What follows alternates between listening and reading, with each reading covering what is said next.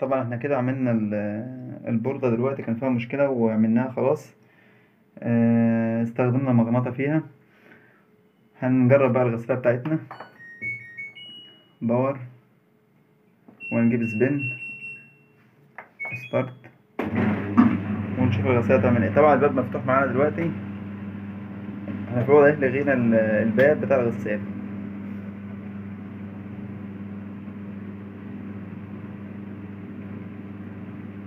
طبعا الغسالة الأول آه، كنا لازم نقفل الباب عشان تلف. هو الباب دلوقتي مقفول. كده الحلة بتلف اهي زي ما إحنا شايفين.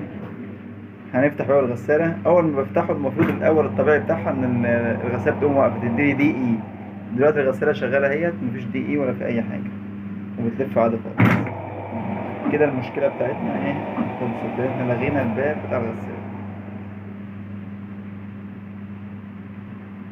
البرنامج بتاعنا هيشتغل طبيعي خالص مفيش أي مشكلة. والسلام عليكم ورحمة الله وبركاته.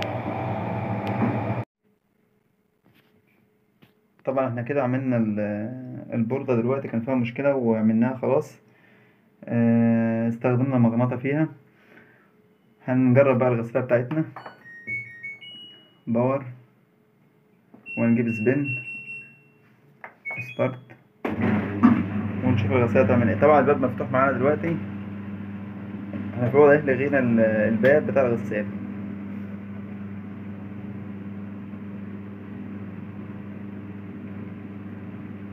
طبعا الغسالة الأول آه، كنا لازم نقفل الباب عشان تلف. هو الباب دلوقتي مقفول. كده الحلة بتلف اهي زي ما إحنا شايفين. هنفتح بقى الغسالة. أول ما بفتحه المفروض الأول الطبيعي بتاعها إن ال- الغسالة بتقوم واقفة. تديني دي إي دلوقتي الغسالة شغالة اهيت مفيش DE ولا في أي حاجة. وبتلف عادي خالص. كده المشكلة بتاعتنا إيه خلصت. إحنا لغينا الباب بتاع الغسالة. البرنامج بتاعنا هيشتغل طبيعي خالص مفيش أي مشكلة. والسلام عليكم ورحمة الله وبركاته. الرحيم والصلاة والسلام على رسول الله صلى الله عليه وسلم. كان عندنا مشكلة في الغسالة دلوقتي. هنقيد power اهوت. هنجيب التجفيف اللي هو ال spin. spin جبنا ستة. هنضغط start هنشوف بقى الغسالة هتعمل إيه.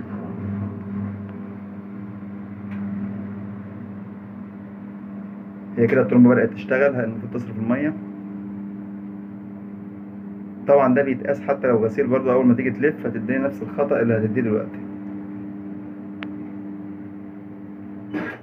آه ادتني خطأ أهو ال DE ال DE أكن الباب إيه مفتوح بس هو الباب معانا هنا مقفول.